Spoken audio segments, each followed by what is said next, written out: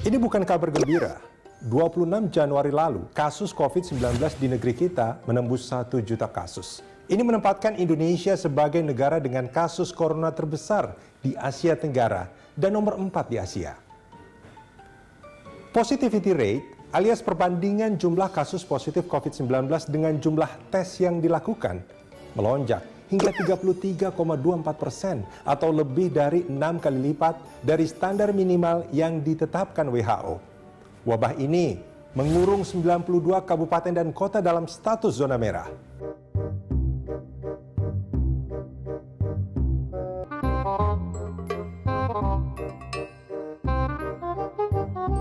Mengidentifikasi dan mengurangi laju penularan, kita harus juga melakukan tracing atau pelacakan terhadap kontak erat dari yang sudah positif sehingga kita bisa mengurangi laju penularan dan kita harus menyiapkan tempat isolasi yang nyaman agar yang bersangkutan bisa sembuh tanpa menulari teman-teman yang lain untuk mengurangi laju penularan itu tadi.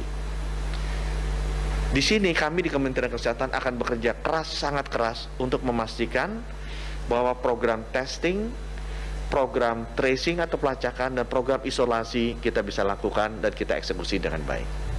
Padahal pada 6 Januari, pemerintah menerbitkan keputusan pembatasan kegiatan untuk sebagian kabupaten dan kota di Pulau Jawa dan Bali.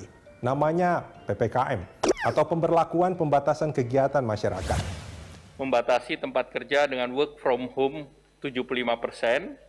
Kemudian yang kedua, kegiatan belajar mengajar secara daring, sektor esensial yang kita sudah ketahui bersama berkaitan dengan kebutuhan pokok masyarakat tetap beroperasi 100%. Meski sama-sama bernama pembatasan, PPKM berbeda dengan PSBB di masa awal pandemi. Di Jakarta contohnya, di awal pandemi menerapkan PSBB ketat dengan menginstruksikan 100% bekerja dari rumah atau WFH. Sekolah dan kuliah daring. Tempat ibadah juga ditutup. Begitu pula perdagangan, hanya toko yang menjual kebutuhan sembako yang boleh buka.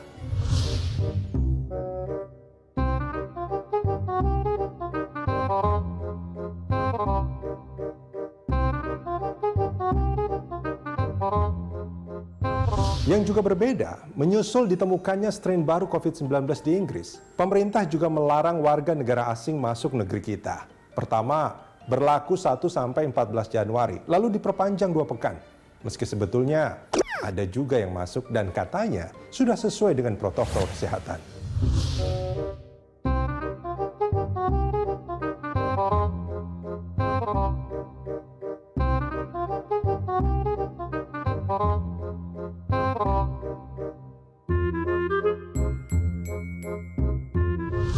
Lonjakan kasus harian yang menembus hingga 13.000 dan 14 ribuan membuat publik bertanya tentang jurus PPKM. Apakah jurus itu tak manjur atau belum manjur saja?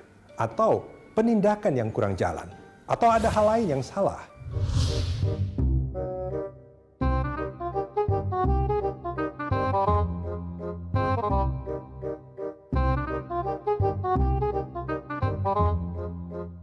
Fasilitas rumah sakit memang terbatas yang sementara ini digunakan untuk rujukan COVID. Dan pemerintah sudah menambah jumlah tempat tidur dan tenaga kesehatan agar bisa menangani ini. Tapi solusi ini harus diikuti dengan pencegahan yang lebih masif. Testing, tracing, isolasinya ya ini. Itu nambal bocornya.